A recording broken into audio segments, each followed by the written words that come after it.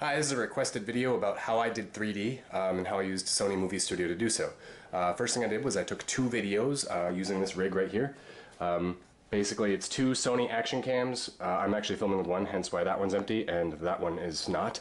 Um, this one would go here, and I would snap in front of one to label it as, as left or right, um, making sure I remembered which one was being filmed as left and which one was being filmed as the right eye. Uh, as long as those are um, separate and I, I, can identify which one's which, then when I put it into the software, I can make a good 3D video. Going to show you how we're going to go with a new project in, this is Sony Movie Studio Platinum. Uh, I'm going to choose this bitrate because that's what I recorded in, uh, 1920 by 1080 at 60 frames per second. And we're going to call this tutorial 1. And okay. Now, oh, I have to, sorry, knew it, Adobe so we'll figure this all out.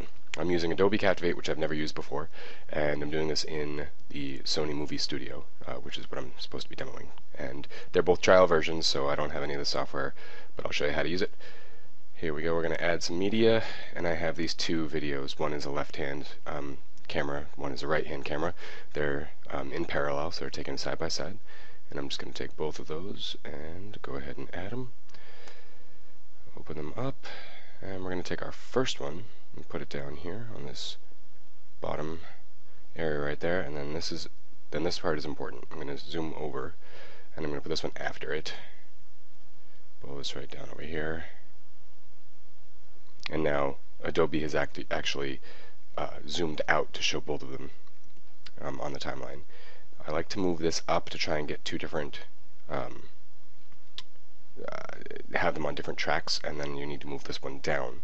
For some reason Adobe, if I start to move them around after that, they try and stay synced as much as possible. So this is the best way to get two different um, audio tracks on separate uh, tracks and two different video tracks on separate tracks.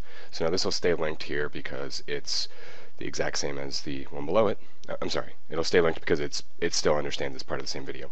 Um, and this one down here will stay linked to the one beneath it, if you look there. Alright? So, what did I just do? I'm showing too many things, and I, there we go. Alright, so, now that I've moved them both over to the side, I'm going to zoom in like crazy. Over here, there's a zoom in, so I'm going to click that a bunch of times, and I'm going to see where I have audio that doesn't quite line up. Let's have this pan over here again. Alright, so let's go to the very beginning, and I see there's a chirp right there and a chirp right there and they're not lined up. So I'm going to take the one that's on the left since I can't move any of them more left. I have to take the one that's on the left and try and move that to match up with the chirp that's on the bottom. And once I'm pretty close I'll just set it right there. Go ahead and put my line there and then I go back over here to zoom in again a few times.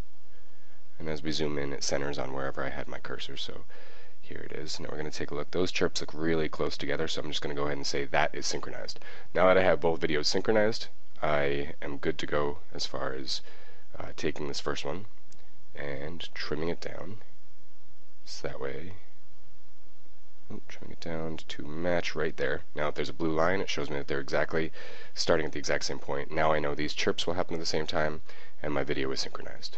So now I can go ahead and move both of them back over here all the way. And once they're all the way back, I can zoom back out so I can take a look at what I'm seeing. Okay, all the video and audio seems to be synced pretty well. So what I'm going to do is I'm going to go up here to the properties at the very top right here. And when I click on that, I'm going to change it from stereoscopic 3D mode off to um, anaglyph. And if you put on your red cyan glasses, you'll be able to see this. As soon as we apply there, we say OK. The next thing we want to do is hold shift and click on both of those so that they're both highlighted. You're going to right click and you're going to go pair as stereoscopic 3D subclip. And that right there is our key. Okay, what that did is that made it into a video using the two. As you can see here, if you have the 3D glasses, this looks horrible. So we'll fix that by going to um, this one clip here. We're going to go ahead and right click on there and add a effect. So video events effects. And the one we're going to add is under Sony right here. and it's called Sony Stereoscopic 3D Adjust. Once you say OK, it'll go ahead and bring this up right here. Now the horizontal offset is what makes it diverge and converge on a certain spot. So that makes it either pop out of your screen or go deep into your screen. So I'm not going to mess with that right now, but I am going to go to the corrections tab. And I'm going to scroll down here because there's this nifty little feature here called autocorrect. And what this does is it makes sure that the height and um, any rotation or any issues with either of the cameras is um, worked out best it can be. So this takes a few seconds, shouldn't take quite that long. I think I'm overloading this little laptop here, but we'll have to see. Oh, here we go, it's moving again. So for 3D, if things are further apart or closer together, not a big deal. But if things are one is higher than the other one, then your eyes won't process it correctly and, and it won't look very good in 3D. It will probably cause headaches. So that's what the vertical offset and the zoom and stuff like that does. So we go back up here now, and actually before we do that, I'm going to go ahead and cross that out. I'm going to say, you know where I want my video to go from. This is all along the runway, and that's fun stuff and all, but you know, I really want to see us take off. So I'm going to get to right about here where I know we're starting to take off. And I'm going to bring this entire video clip shrunk all the way over to there. Right to that spot. And I know I have some junk at the end of my video and I don't really care where this actually stops since it's a tutorial. So I'm going to go ahead and stop it right about here once you can see us in the air. And I'll shrink that down to to there now if you notice one of the audio tracks did not sync with me because it's still attached to the other video and the other video isn't even here so we'll just go ahead and delete that. And then we'll grab our little lonely video here, bring it all the way back to the beginning so there's no dead space in the, in the front of this. Now what I'm going to do is I'm going to go back to that effects thing, that video effects, and it's going to pop up and I don't want to add a new one so I don't have to worry about adding any new ones but we'll just pull this up here, make this a little wider. There's this cool thing now where I can add keyframes. So when I add keyframes, let me see, we'll go down here to where we have our keyframes, and at the very beginning of the video, I want to have, oh, you know what, my cursor, I messed that up. This is all black over here. I can't see anything because my cursor's not over there. So I'm going to bring my cursor back over here where I can actually see some video again. We'll put it at the very beginning. So let's say for the beginning of my video, I want to have it that way the engine is exactly in this, can we see the engine now? All right, we can see the engine. The engine is going to be exactly level with my screen. So everything past the engine is going to be going into my TV screen, and everything in front of the engine is going to be popping out of my TV screen.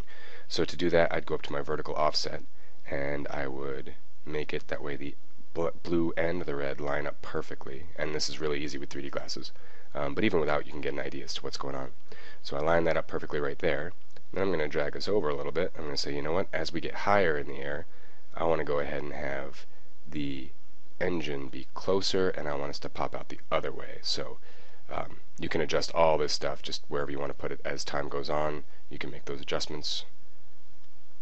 And technically this should be updating in the window, but uh, I can't really see it right now because I think I'm using too much processing power. So once you got that all set, you go ahead and you can just X out of here because it saves it as, as you go. And so now I have this video that's all set with going in and out and zooming in and out and uh, having 3D effects be all over the place. And so now I'm going to take my project and I can either do it just like this, so I'm using Anaglyph, Anaglyph um, 3D glasses, the red and cyan, or what you can do now is you can actually go to the properties. And now that you've done editing it with that, if you want to do it uh, like uh, put it on a 3D TV, those usually take side by side half. And what that does is it uh, for for certain screens like the Vizio I know do this. They take half the screen and the other half the screen and they, they interlace them. That way the left hand of the screen is on your left eye the right hand of the screen is on your right eye. Now if you notice um, up here that one of these should be left or right you can swap left and right um, if you know which one's which. Uh, for me I actually did it that way. The left is on the left hand side and the right is on the right hand side so that's perfect for me. So I go ahead and apply that. Say OK project. Make movie I'm going to save it to my hard drive before I upload it to YouTube. I particularly like this one because it has a higher bit rate. You can do, and you can actually do anything you want at this point.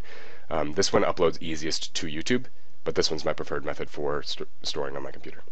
But either way, um, we go ahead and render that whole thing, and if you render that out, it's going to give you something like this.